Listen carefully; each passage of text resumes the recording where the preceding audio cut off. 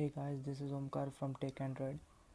I am back with a new video. Today I am going to show you all how to flash Dolby Atmos on your Android device where it works almost uh, above Android version 4. So without wasting time, let's get started.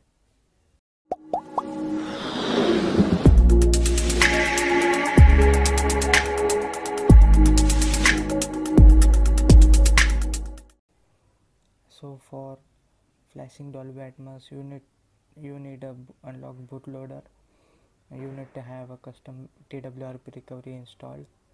So after having these things uh, we shall start the procedure. So first of all shut down your device. Power off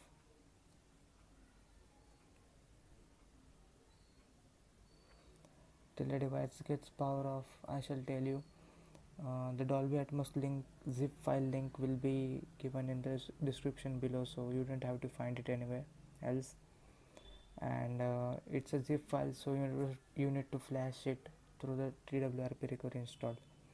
So the device has been shut down. Um, press volume up and power key to go, uh, to enter the recovery mode it shows the Mi logo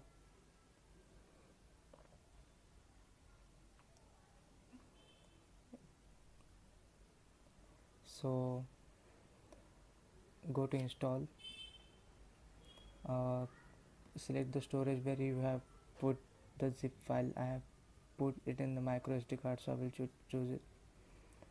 Now scroll bit scroll a bit down and locate where you keep it dolby atmos uh, click on the zip file and swipe to flash. So the fla- the flashing process has been done. Uh, click on wipe cache in Dalvik swipe it. And now just reboot the system. It shall take few minutes to, to boot up so we shall wait till then. So guys the device is booted up and we will check that uh, the zip file has been flashed or not. So here you can see Dolby Atmos has been properly flashed on the device. Click to open. Yeah here it is choose the mode game music movie manual or auto etc sound virtualizer dialogue enhancer. Get my camera to focus it. Yep sound virtualizer di- dialogue enhancer volume leveler. So here it is guys. It's the sim it's the procedure to flash dolby atmos so flash it on your device. This is me. Uh, if you like the video please give it a thumbs up. Uh, subscribe to the subscribe to my channel for further videos.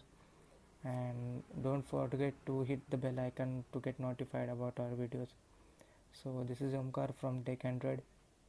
Peace